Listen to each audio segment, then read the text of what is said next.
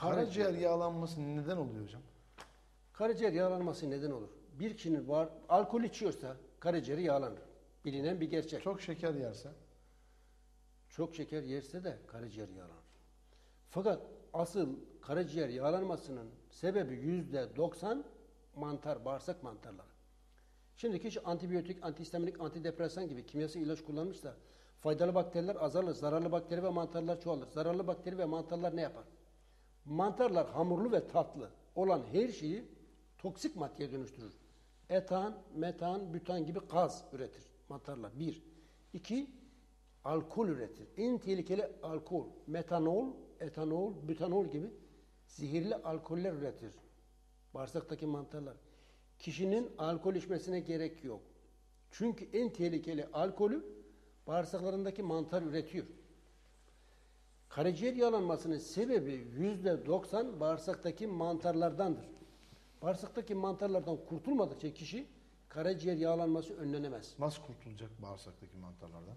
Aloe vera şu gördüğünüz bitki dünyada mantara karşı en etkili bitkidir. Aloe vera. Şu bilgi bitkiyi gösterebilir misiniz arkadaşlar? Bu aloe vera ne kadar hayatımızın içine girdi?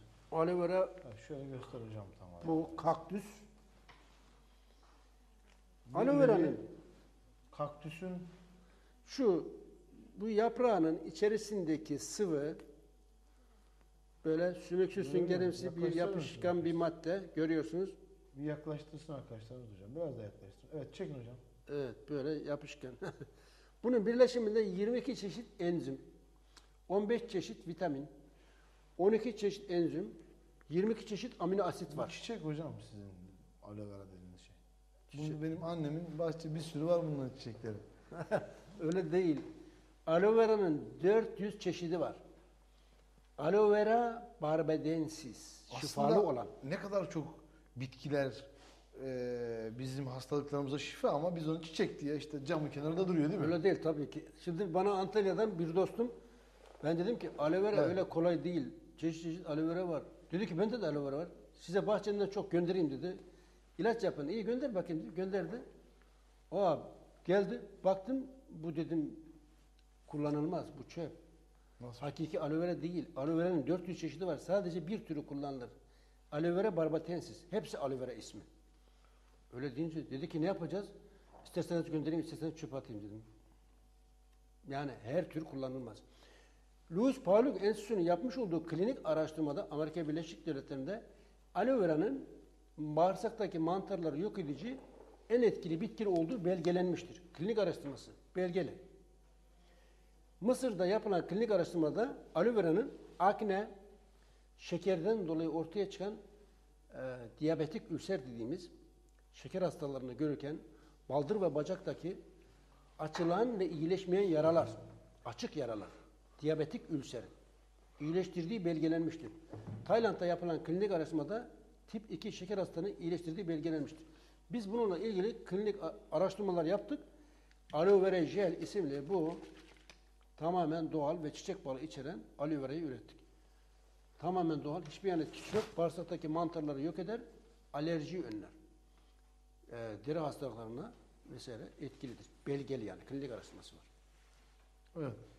Ee, karaciğer yağlanması Karaciğer yağlanması, dedik ya bu aloe vera mı karşı kullanması lazım? aloe vera bağırsakları temizler.